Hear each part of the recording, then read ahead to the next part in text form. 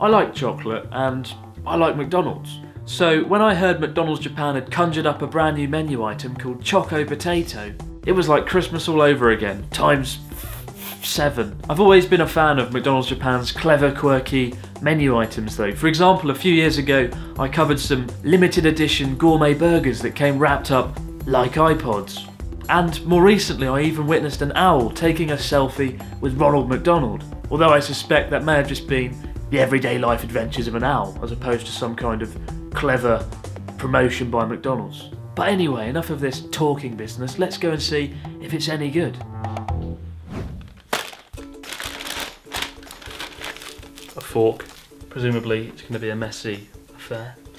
Ooh, double choco sauce because one chocolate sauce simply isn't enough. Original golden crispy McFry potato chocolate sauce. It's a bit of a mouthful, isn't it?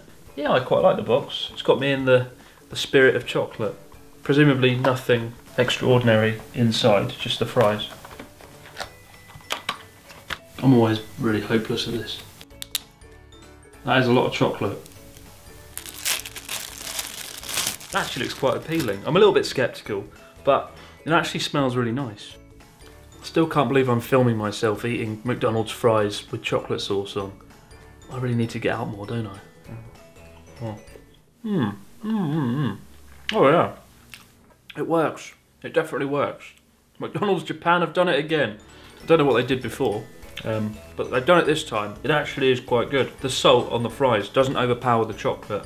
Probably because there's two chocolate sauces instead of one. Very clever that. I could definitely see this working outside Japan, especially in the UK.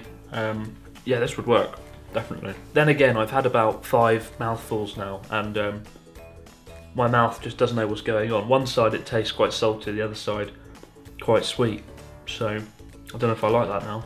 What would I give it out of 10? About 7. But would I buy it again? Nah, nah, I wouldn't.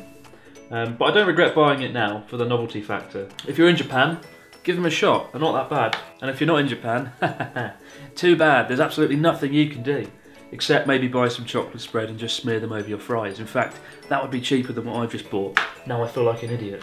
Ah, no I don't. I've got chocolate fries from McDonald's. See you later. Oh, I finished them. That was quick.